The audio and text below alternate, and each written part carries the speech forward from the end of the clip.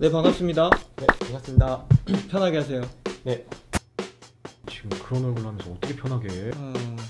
이력서를 보니까 졸업이 아, 그동안 배낭여행을 많이 다녔습니다. 배낭여행을 통해서 쌓아온 도전 정신으로 지금 이 순간이 도전입니다. 비실비실해 보이는데 제 이래도 제가 네, 운동도 열심히 하고 네, 이 몸도 돌려서 말하지 말고 야근 많다는 거 다 듣고 왔다 아 술 잘 마셔. 아니 못 마신다고 하면 사회성 없다고 할 거고 잘 마신다고 하면 진상이라고 할 거고 아 내가 요즘에 국방에 관심이 많은데 1인 미디어로 성장하는 사람들을 모아 예를 들자면 딱 봐도 백야목을 가기 시네 자 뮤지컬을 했다고 써 있는데 어떻게 하게 된 거죠? 제가 원래 수업을 들었었는데 자소서에 완전 잘 써놨거든요 공들여 쓴 건데 한 번은 좀 제대로 보시죠 1년 후 그리고 10년 후에 포부를 10년째 되는 해에는 잘리지만 않으면 다행입니다 저희는 정부의 모범 기업이라 9to6를 정확하게 하게는 절대 하지 않도록 하겠습니다. 어, 일은 언제 하죠?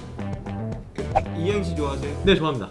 동진 한번 오늘 한번 왜 그걸 저한테 동 동으로 보나 서로 보나 진 진국일세 확 나가버릴까 우리 회사 탈락하면 관련된 직무 경험을 많이 쌓고 내년에 다시 한번 뭘 어떻게 어? 지금 청년 실업률 알고나 하는 소리야? 아, 딴 데 가야지 자소서 100개 써봤어?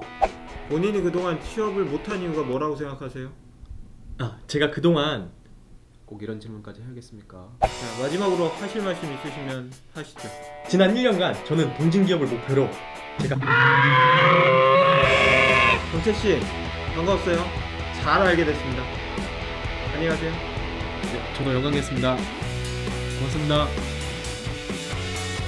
겨우 15분 동안 날 다 알았다고요? 웃기지 마세요